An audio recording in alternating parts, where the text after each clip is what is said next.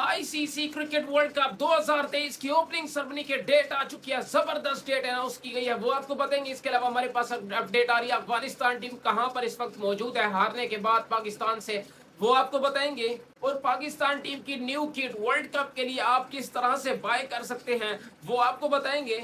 और एक बहुत बड़ा खिलाड़ी काफ़ी अरसे के बाद पाकिस्तान पहुँच चुका है। इनफैक्ट उन्होंने काफ़ी अरसे के बाद क्रिकेट में भी वापसी की है। कौन सा है वो खिलाड़ी, वो भी आपको बताएँगे। सबसे पहले अगर मैं अपनी इस रिपोर्ट का आगाज़ करूँ, पाकिस्तान क्रिकेट टीम की न्यू किट अब लॉन्च कर दी गई है। पाकिस्तान क्रिकेट बोर्ड की जानब से आपको बताएँ तो आप बाय किस तरह से कर सकते हैं। अगर मैं सबसे पहले आपको बताऊँ तो shop dot com dot P K Pakistan cricket board की जो ऑफिशियल वेबसाइट है, यानी आप गूगल पर सर्च करेंगे shop dot P C B dot com P K यहाँ पर जाकर आप पाकिस्तान की जो वर्ल्ड कप के लिए न्यू किट है, वो वहाँ पर बाय कर सकते हैं। आईसीसी क्रिकेट वर्ल्ड कप 2023 की ओपनिंग सरमनी कब रखी गई है? तो 4 अक्टूबर अहमदाबाद क्रिकेट स्टेडियम इसको होस्ट करेगा और तमाम बॉलीवुड के एक्ट्रेस हो गए एक्टर वहाँ पर मौजूद होंगे सिंगर भी होंगे और काफ़ी हैवी टिकट्स तमाम कप्तान भी वहाँ पर मौजूद होंगे। तमाम क्रिकेट टीम के जो कैप्टन हैं ऑल टेन कैप्टन वो भी वहाँ पर मौजूद होंगे